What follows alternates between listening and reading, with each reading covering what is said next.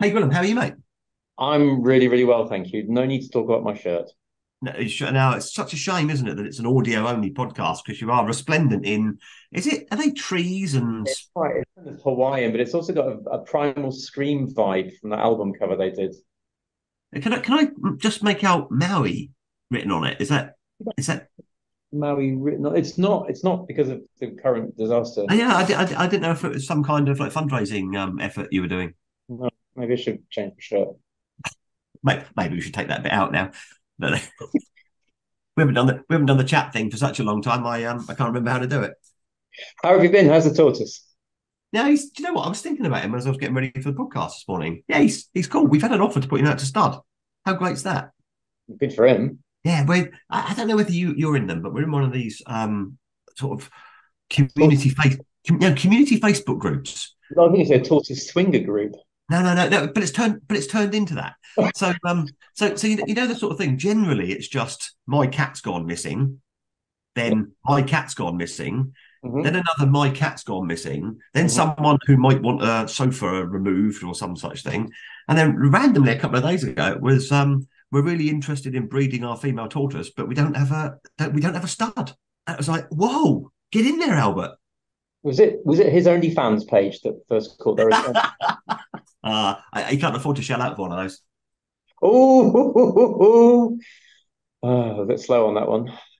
So yeah, no, yeah. So that's the that's the exciting developments in the uh, in the world of Albert the tortoise. Is he's going to be a um, he's going to be a, a, a star. Still, it, um, it, You're it- going film it, are you? no, no, oh, they might film it. I'm not going to film it. Oh, okay. So um, yeah, how how cool's that? Lee Davies and Gwilym Roberts are the two IPs in a pod, and you are listening to a podcast on intellectual property brought to you by the Chartered Institute of Patent Attorneys.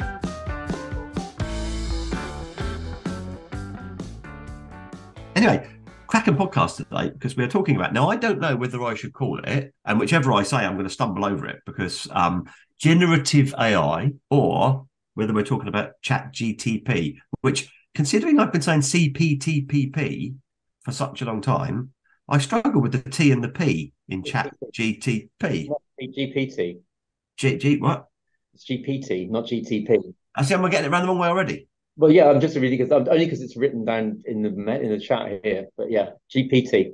So, so there, there there you go. G, G, Chat GPT. Anyway, we have a person, guest on the podcast today, friend of the show, as in he's been on the show before, who can tell us everything we need to know about Chat GPT, including how to pronounce it and whether we should, in fact, be talking about sort of something more generic, such as generative AI, um, because of course, Chat GPT is just one of the ways in which the technology has evolved. So, um, Nils, hello, how are you? I'm fine. Thanks for inviting me back to the show. It's, lo- it's Excellent to see lovely you to again. back. So, so sorry you've been um, kind of sat there bored with talk of tortoises and the like again, but um, ho- hopefully you'll forgive us for that. So, so uh, reintroduce yourself for people who don't know you. Okay, sure. And and you've you've just put in front of me quite a hurdle because I'm a German and how to pronounce ChatGPT in English might be the first task I I fail with. But uh, other than that, I'm a partner at Pinsent Masons, placed in uh, Germany, as I said, in Frankfurt, um, and I'm focusing on everything that is digital. Last time we talked about NFTs, now it's ChatGPT, digital assets, and, and by heart, I'm a copyright lawyer. Just came back from a lovely holiday on the Isle of Wight. So, um, yeah, You were 10 miles and just the Solent away from me. You should have said I'd have come over and bought you a beer.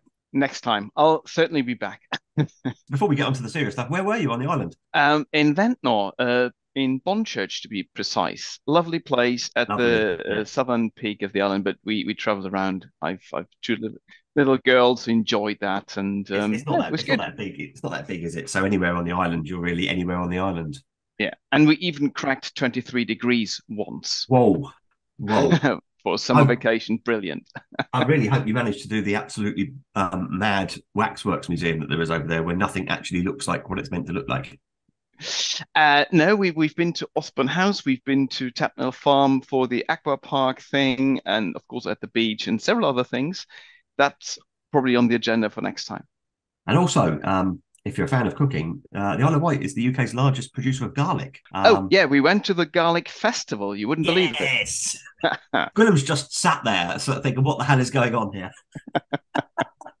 yeah, so- yeah, Gwilym, you need to do the garlic festival.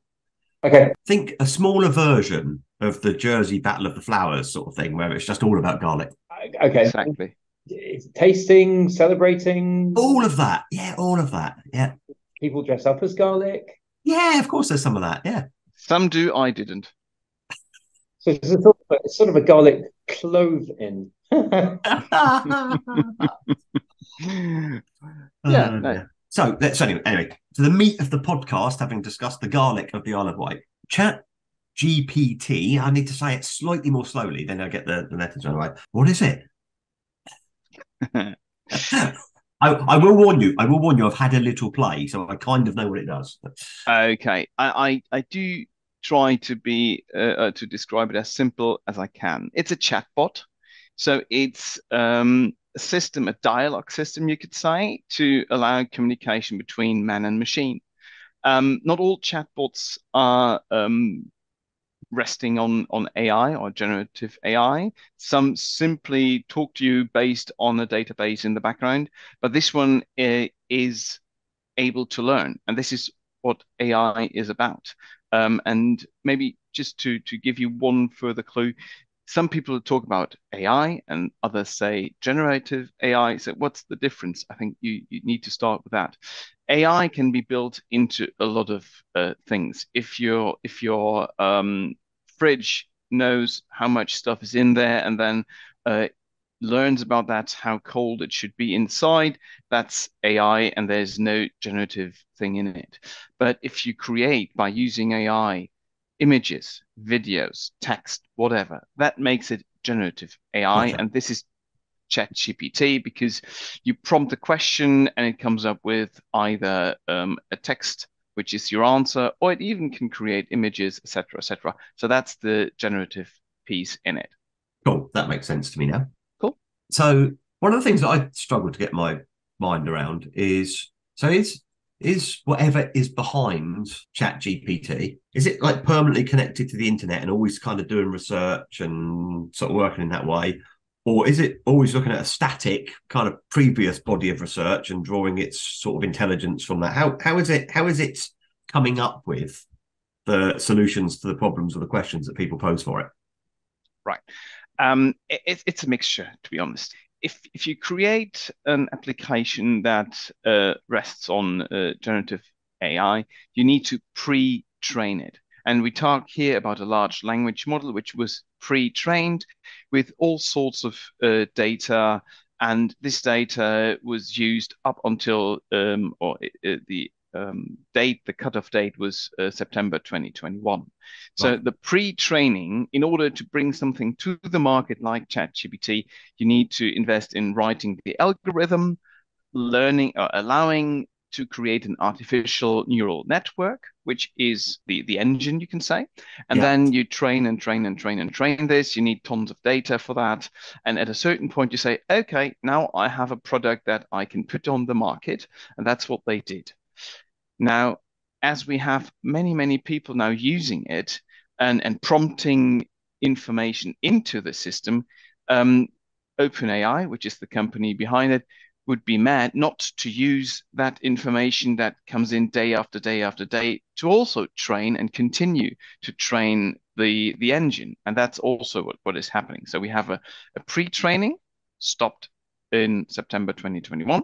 And then you have whatever you, me, uh, Willem, whoever put something there is also used for a continued training, which means if you want to be something, uh, want to have something very accurate, you probably are better off pre September 2021. But there is some additional learning that is continued as we speak today based on the prompts people put in. Got it. Okay. So I'm, I'm trying to make that make sense in my simple mind, and I'm thinking about it along the lines of kind of like a route finder or SatNav or something like that. In that it's got a, it has a Mhm. memory at a point in time, um, but then that is increased in the future with the new data that comes in. So yeah. So yeah. So think think I understand that. Let me give you let me give you maybe one example. If if you plan an event for your company or so and you need to come up with a nice speech you can prompt in a lot of information and chatgpt will uh, write for you a very eloquent speech. If you want to know whether in the hotel where the event takes place is still a room available ChatGPT might not be able to give you the answer because nobody else prompted that information into the system, and they then ChatGPT will say, "Sorry, call at the front desk and ask." It will actually tell you that, will it? It'll say, you know, you, you need, yeah, you need to go somewhere else for this. I'm, I'm, I'm, I'm not the expert. Yeah, Gwilym, have you had a play? No, I haven't. I'm a bit scared of it. Scared? Why are you scared? No, I read some at the very beginning. Oh, don't be careful. Once you're in, you can't get out, or something like that but it's mostly um, I don't know. I just never quite get around to, to pressing the buttons, which is pathetic, and I should. And I've got lots of points and questions about it, both the personal and the professional level. But I know you have played with it, Lee. Yeah, so I um, there, there, there are a couple of reasons why I played played with it. So let, I'll, I'll, tell you two different stories, and then it's probably time for you to then butt in and do some work on this podcast, Gwilym, as well. So the the two most recent reasons I used it, one was because I was needing to do some work for CIPA, needing to do some policy development stuff. It related to stuff that I'd worked on previously between 2005 and 2009. And I thought I'd be lazy here. I'll just put what did Lee Davies write about, blah, blah, blah. And of course, it found everything I'd ever written about it, and it came up in a sort of like really sensible way. That was so it was it was my work being played back to me. There was some stuff in there that were that, that was from other sources, but by and large, it was my stuff being played back to me. So it just it just worked as a as a memory for me and gave me sort of like path to tread. And one of the other things that uh, that I've experienced recently is that I, I, work in the membership association space, and we have like annual award ceremonies and stuff like that. And uh, an award ceremony I was at. One of the associations there had been really, really successful. They didn't win everything, but they've been really, really successful at being shortlisted for everything. So, I, so I just said to the chief executive of this association, "God, you're gonna have to give me a secret about um, writing submissions for awards." I said because you know no one else has been shortlisted across every category like you have. And he said, "Yeah, we just did it on Chat GPT. Simple as that. We just we just asked it to write awards nominations around the categories, and uh, and it did it for us, and we just needed to tidy it up." So those, they, yeah, those were my two most recent experiences.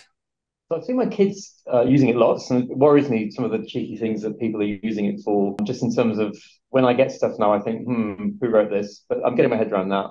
Um, and actually, to clarify, the reason I've not used it principally is because currently I either work look after a baby or sleep. That's one of the main reasons I've not done to tinker, which is one of my kind of fun question, actually. What I am hearing is a lot of really creative uses of chat GPT, a bit like when Alexa came along and you had to sit there and think, what stupid question can I ask Alexa? You know, do dogs eat grapes or whatever it might be? Neil, what are we seeing in terms of creative use of chat GPT beyond speech writing and let- writing letters of introduction and job job applications and stuff, which you hear about more and more? What what are people doing with that? Oh, it's it's a very wide range of things people actually do.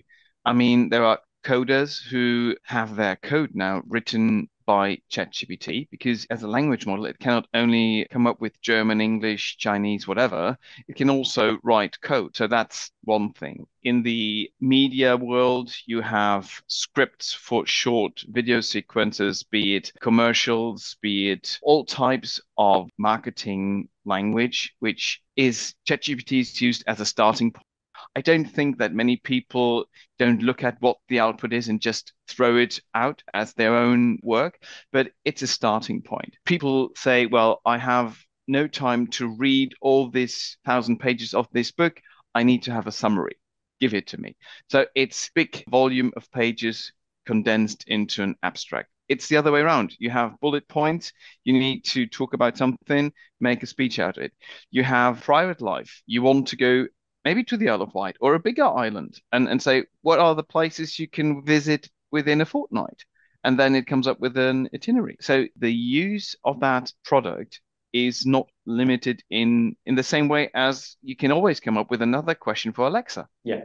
Well, funny, I should I sent an email to a fairly high profile IP person, won't name them, and they accidentally sent me the email trail between my email and their response which included here's what ChatGPT has suggested as a response to Mr. Roberts' email. How did you feel?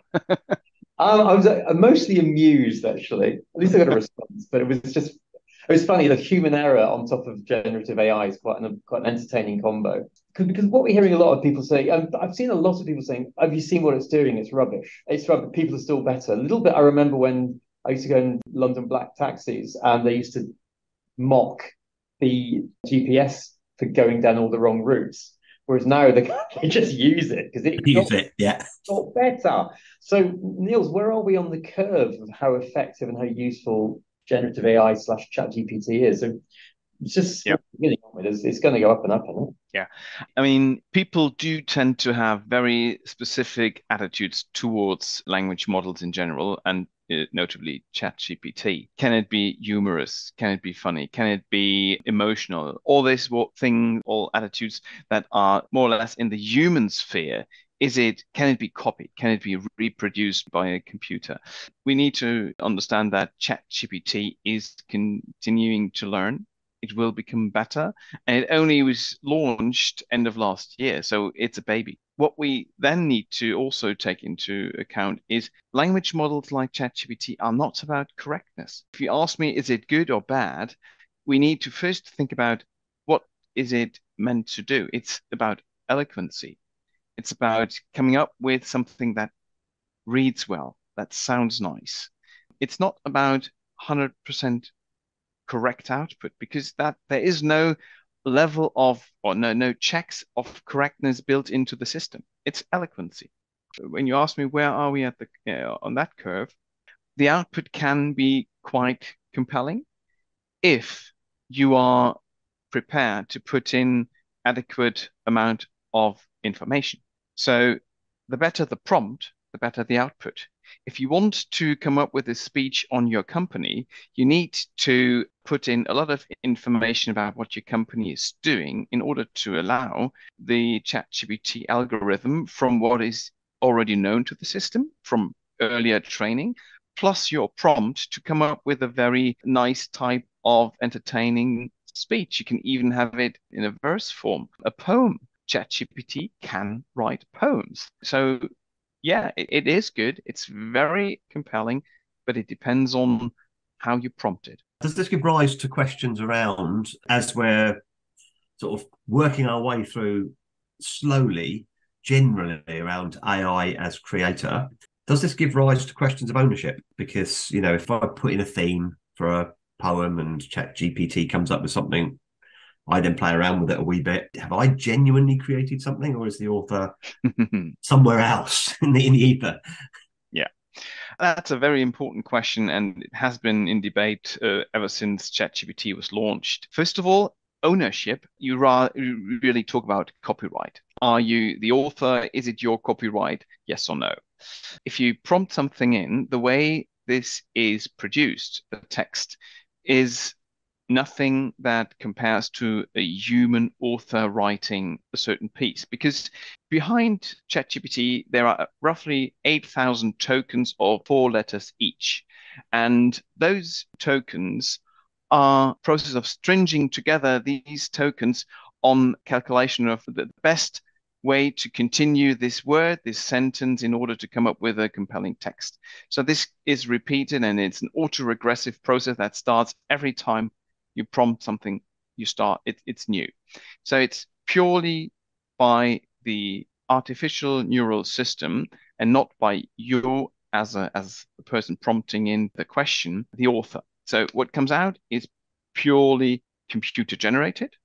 And therefore, under German law, for instance, you can't own a copyright to that. It's not protectable. Contrary to that, in the UK, in principle, there is a clause in the in the Copyright Act saying computer generated products can assume copyright protection.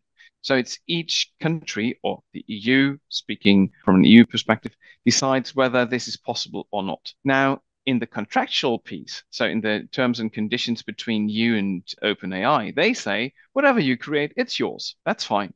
But it might not allow you to claim against any third party a copyright if not, you start with the text, uh, which what with the output, and then work on it and have your human input added to what was the starting point from ChatGPT.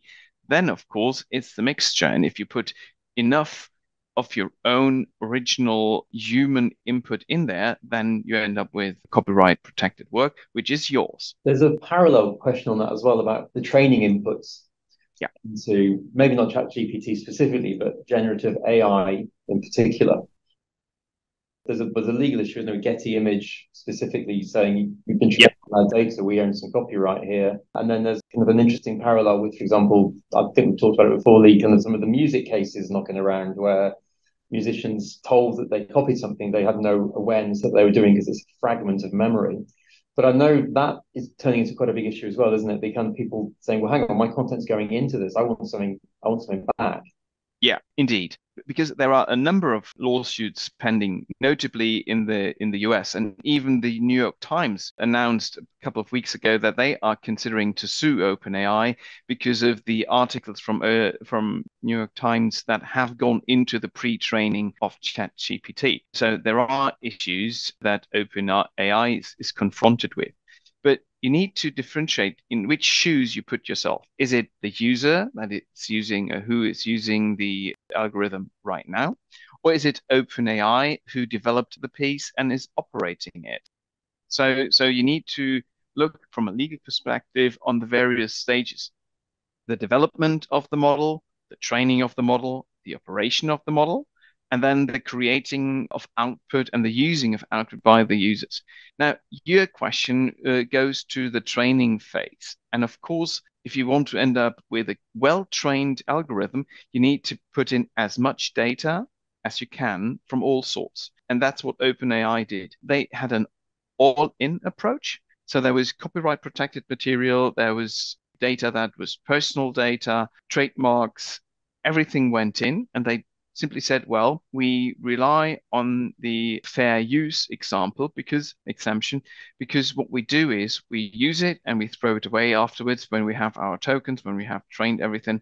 And this training purpose, we are justified to do that. And this is now what people are challenging or companies are challenging. We have one case where they say it's a theft of data because they used also from minors text that was written in chats from minors and they used it and they say, well, this is not under the exemption. You should have asked permission you haven't done. So it's illegal what you've done. And OpenAI will need to defend against all this and say, uh, and the argument is, yeah, well, we didn't infringe. We didn't need to ask because we were entitled. It was justified for the purpose of training. And there are the legislator in Germany, in the UK, elsewhere, they have considered that we do need, in, in order to create this type of software, that you need to have access to big data, and therefore there are exemptions under European copyright and other uh, jurisdictions have similar things for training, for using big data for text and data mining. And this is simply what, what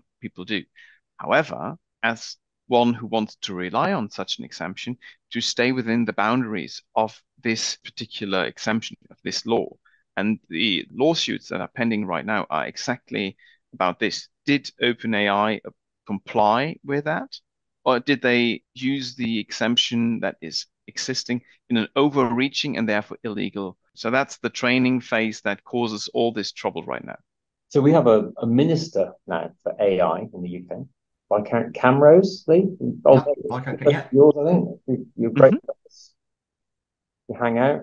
Yeah, that's him. Viscount Camrose. Yeah, he's oh, um, and it's, it's interesting because I know that there are conversations going on between the minister and the UK IPO and others about data mining and whether it needs to be more closely regulated. So um, it's, it's yep. a really live discussion at the moment. It, it is, and not only there, not only in the UK. I mean, we have the same uh, discussion about the AI regulation in the EU, which is in the trilogue phase, so very close to be finalized and enacted on a pan-European basis. And they started all this with with the attempt or with the aim to create legal security by having the right level of, of, of regulation in place. Because for OpenAI, all these um, lawsuits they jeopardize the success of the overall project. Because if you were a big company and you were going to license from OpenAI the GPT engine, you would like to know is it legal what you did in the phase of creating and training this thing? So is it a license worth paying a lot of money for, or is it not? And this legal security needs to be in place, and therefore we need further regulation at the right level of rightly balanced. Let's put it that way. I would say, I mean, I I would say that we can have all the lawsuits and all the regulatory like. I would say if your data is in the public domain, as we say in English, Nils, the cat is out of the bag. I'm interested. Yep. What is what's the German equivalent just for our education to that idiom? Was einmal in der Welt ist, kriegt man nicht mehr raus. What's in the world once, you can't get it out of the world anymore. There you go. Thank you. A little bit of a language there for us. I think I prefer the cat coming out of the bag. It's, it's kind of more visual, isn't it? But even so, quickly, Neil, uh, uh, Lee, chat, type into Chat GPT a better idiom than cats out of the bag. So all we get. um, so I think one thing that a lot of people, I mean, everyone is actually probably one worrying about is the longer term, medium to long term impact of this on our jobs. And interestingly, it's come up in our, in a, as a patent attorney, there's a lot of uh, stuff coming to us now from third party providers offering to do a whole range of stuff from reviewing file histories and looking for added matter issues, specialist points, sorry, through the obvious one, drafting patent applications and a whole bunch of stuff about now analyzing other people's portfolios as well. And an interesting early insight is that several clients, as in patent users, have said, please do not use AI on our product because we don't want it to be used as a training tool. So it's funny how currently that's and I can see that certainly for obviously anything that yeah, new patent application is by definition can't be in the public domain. So training on it is a bit dodgy. But it's interesting how again, I just wonder how those pressures are going to work out in the long term and whether everyone's just going to start accepting it. Yeah, very good point. I can uh, share with you a little anecdote. Um, the other week, I was speaking to my PA, and she came up to me and said, "Oh, Nils, I saw this this great seminar that is offered to PAs how to use ChatGPT. May I enroll for that?" And I was like, "No, please not." I was quite surprised that these offers are out there because as lawyers, we do need to keep confidential what our clients tell us. So this is a real big issue about confidentiality. If you put in a prompt, as I mentioned earlier, you need to be quite rich in terms of information in order to get pleasing output. So whatever you put in there is in the system. You can't, the cat is out of, of the bag, as you just put it. Now, um, so there is a, a, little jigsaw. On the one hand, we want to have tools that continue to learn. This is what AI is about.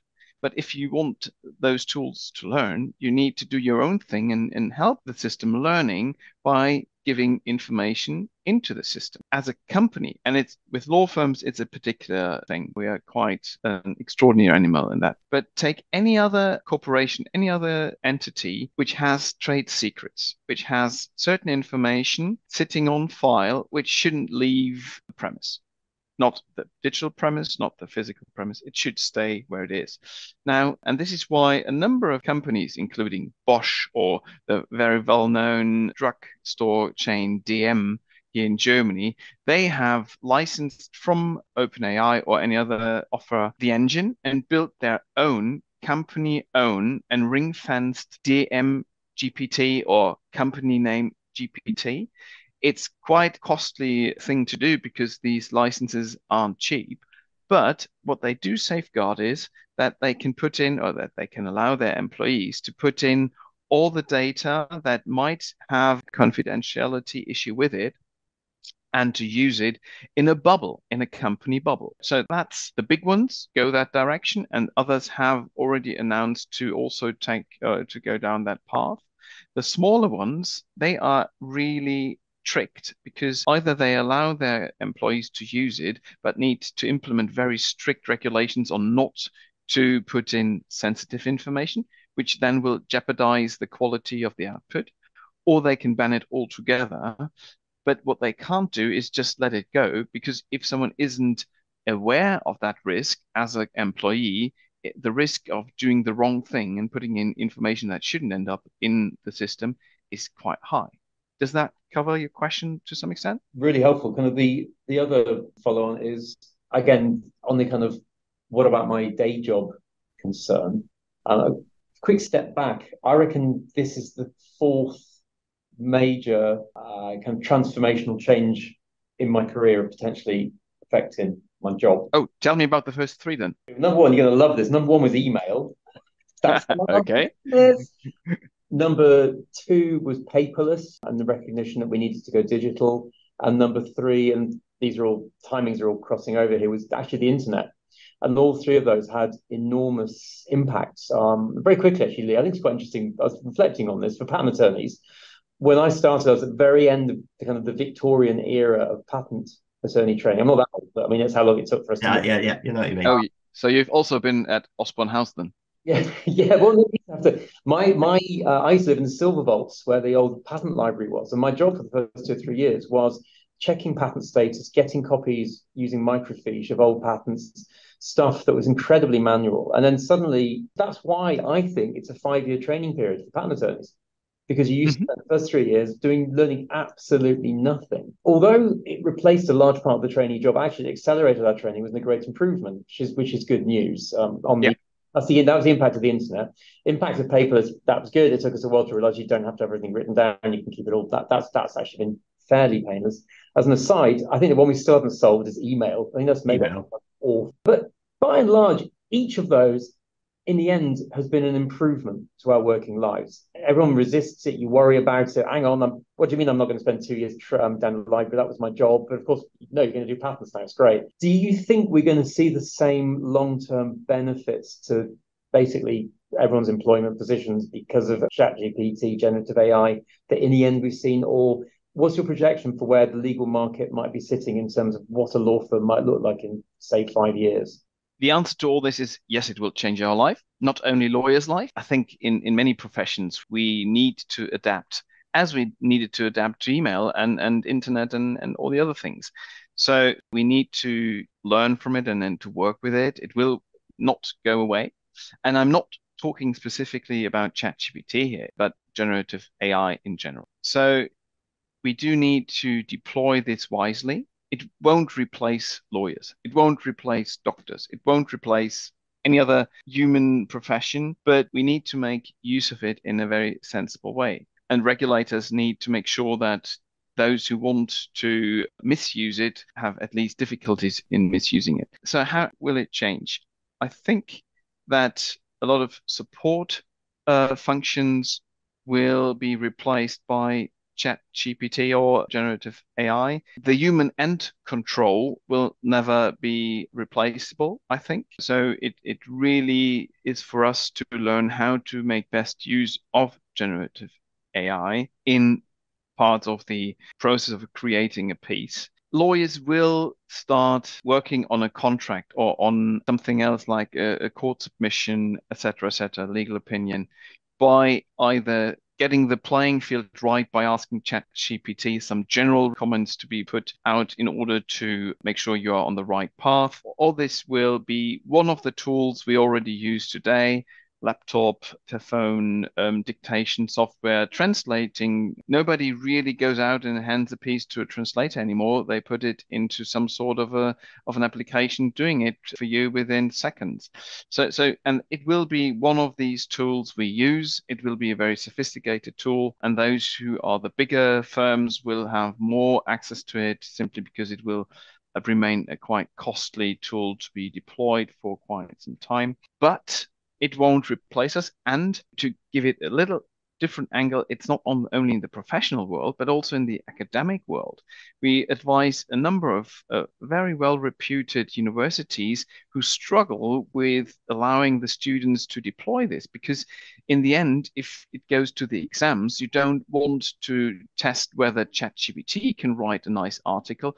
You want to know whether the student is able to do this. And, and now, as we as we allow math students to use a calculator, you might allow a law student to use ChatGPT in a certain amount, in a certain context, but not allow ChatGPT application to write the entire exam or the answers to the exam. So they are in a in a need to refine their their rules for examination as well. So it's and what we do need is that talents can go to university and learn and be those who come up with the next thing that will change our life in a couple of years' time or months' time. You don't know. Nils, we've talked quite a lot about the um the legal and some of the ethical issues of generative AI. Yeah. In the sense of how it impacts on the the world of law and, and IP. Can I ask a more general ethical question? You, I mean, you, you may not have an answer to this. I'm not expecting you to be the expert on this, but it's just a something that goes through my mind.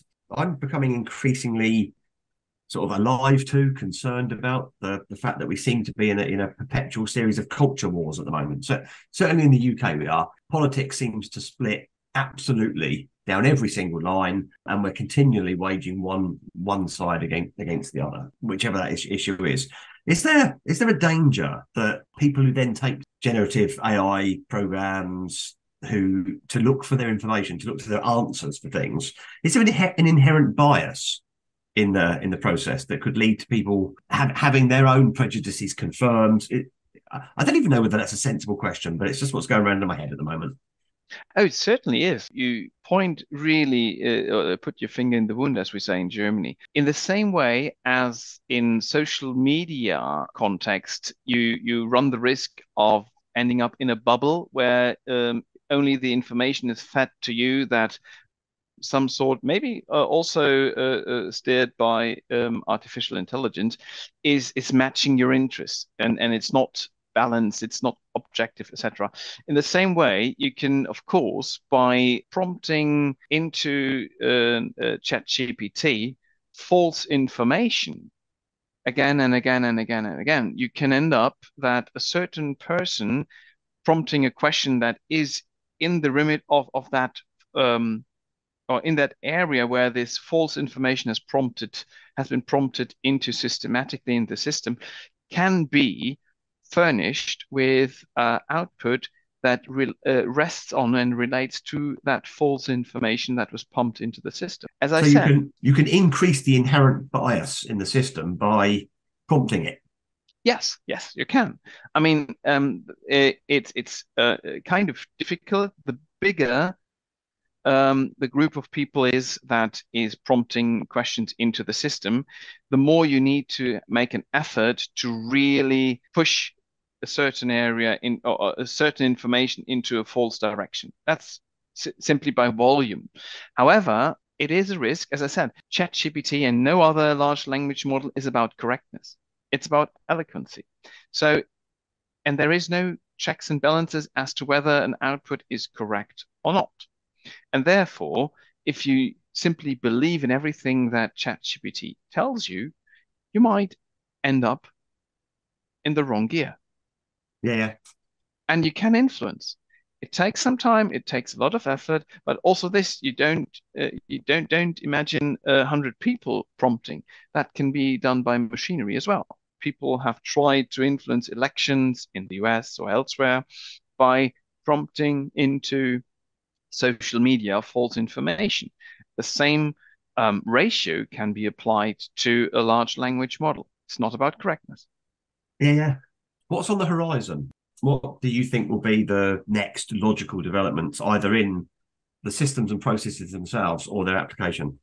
Good question. I mean, first of all, as I said, um, ChatGPT is uh, uh, still a toddler, and it will will continue to be around, and it will learn and will be more eloquent, um, and people will, uh, and more and more people will will use it, or equivalent um, language models um, that will come up uh, or are in the course of being developed. So, so that, that's, I think, the, the development we will see. Second, we, we do see with the um, draft EU regulation on AI and other um, legislative projects being uh, in the pipeline that the legislator, as always, when you have a technical development, will try to to catch up and we'll try to set a framework, a regulatory framework.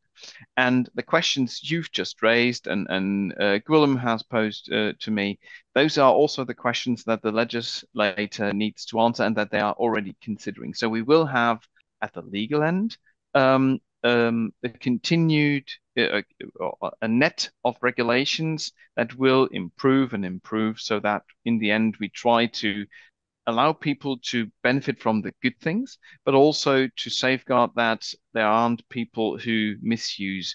There are high risk AI applications that are regulated at, in first place now. That's the focus. ChatGPT won't fall into that because it's too, too general. But we do see a development and a discussion how to make sure that those aspects that can lead to false information that can mislead people that uh, we we reduce the risk by legislative means.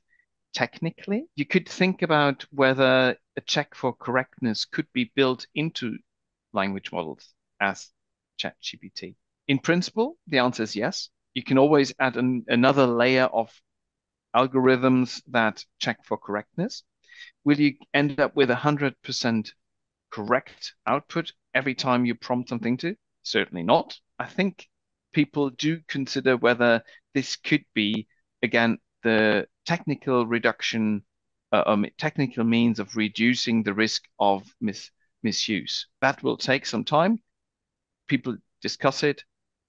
Probably there are some clever uh, programmers already, coders already somewhere, I don't know where, who who test this type of stuff.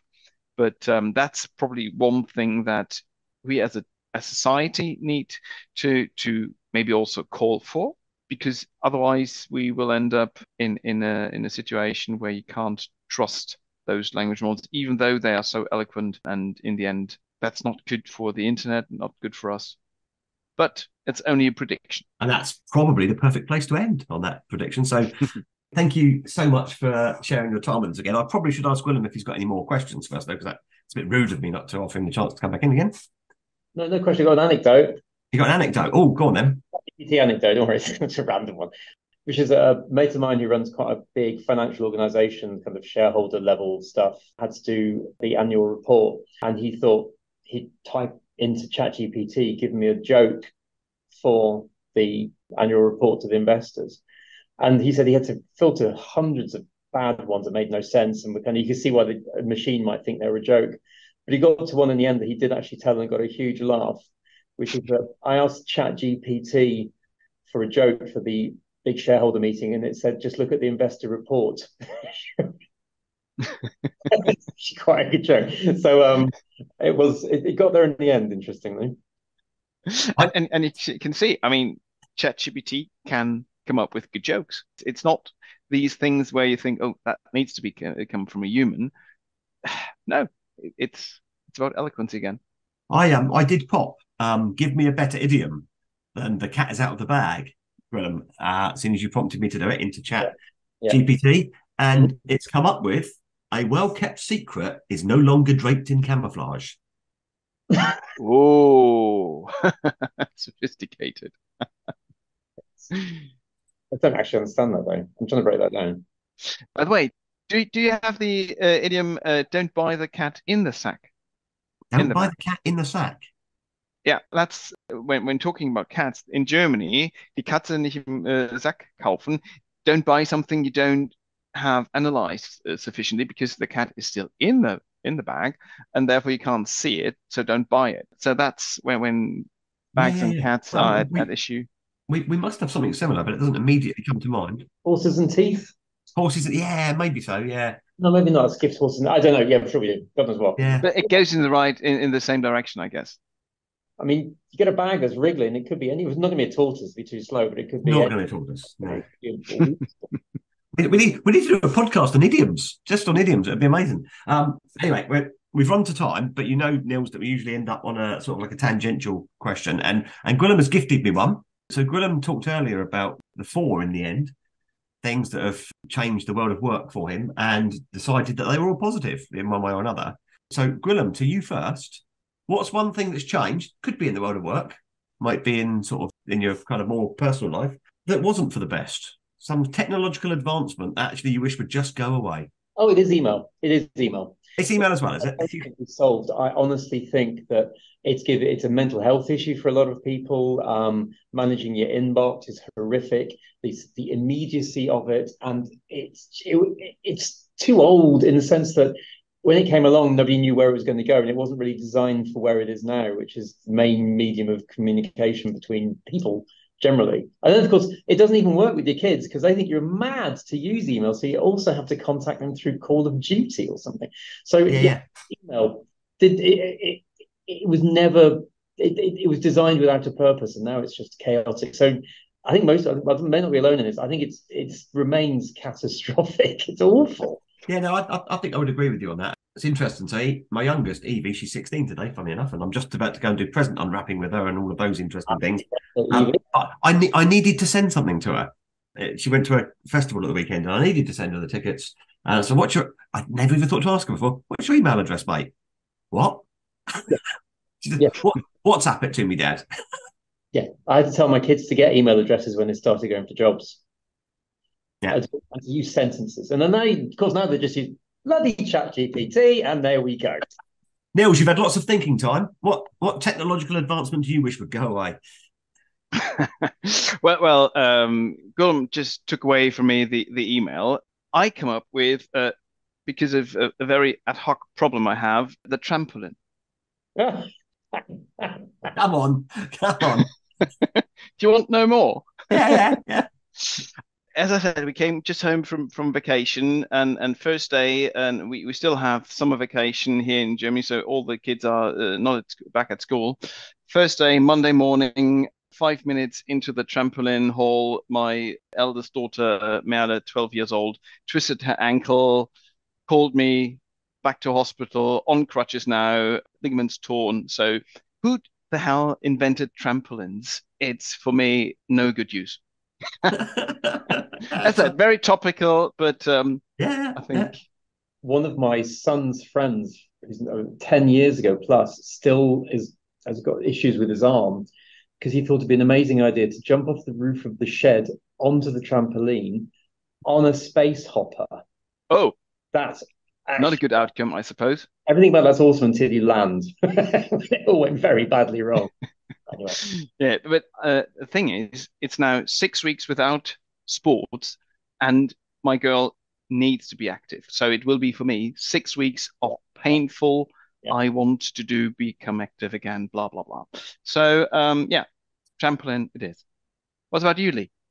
Yeah, so so for me, it would be I have a thing about drive. I- I've never had a new car in my life. I only ever drive very old cars because I used to 20 years ago, like playing around with them and tinkering with them and you know, changing a carburetor out for a bit of improved performance and stuff like that. But now, so I drive a 20-year-old car now, but it was one of the earliest cars to have computer management systems and all of that. So I'd get rid of the engine management light because I have no desire to know that my exhaust has just produced sort of slightly over the requisite amount of emissions or the you know the spark on number four cylinder fired intermittently for 0.3 of a millisecond you know not interested in all that sort of stuff and this thing just keeps popping up and every time I plug the diagnostic tool in, it's always something that I can just kind of delete and move on from. I didn't need to know those things when I drove a car without an engine management warning light. Why do I need one now? So that's yeah, I, I would I would bin that thing off. Good one. Nils, thank you, thank you for your time. It's been brilliant again, as it was last time. Gwilym, always good to see you, mate. Look forward to see you on the next one. I have pinged another um, idea for a future podcast into the chat to you. Should I just rehearse it here slightly or not? I have, and I'll tell you. Then I'll read out my response. Yeah, so I, I think we need to get three guests on and do an IP Room 101, where I don't, I don't know whether you have something similar in Germany, Nils, but in the in the UK we have a both a TV and a radio show called Room 101, which I think is in some way, shape, or form related to Orwell's 1984. I think doesn't that feature Yeah. in that? It was a room, it's like a rat in a pipe. Yeah. So, so, so it's a room to which you banish things that have uh, ruined your life. So, I, I think we need to get three IP people on, and maybe Nils could be one of them to come and get rid of their worst IP nightmares. And your response was, yeah. Watch out for IP format rights. I'm in. "I'll call it Dungeon 102 or something like that." Check the trademark rights first. It's, it's, it's where you face. They make Winston Smith face his worst fear, which is rats, and that, that's how they get him to basically declare that he doesn't love Julia or something. I seem to remember. I love Yeah. that. Yeah, But, that's yeah, been so a long time. Just find an Long time. alternative literary thing where you have to face your worst fear and just call it that, and we're good. Call it that. Okay, perfect. Thanks both. Thanks a lot. That's a wrap.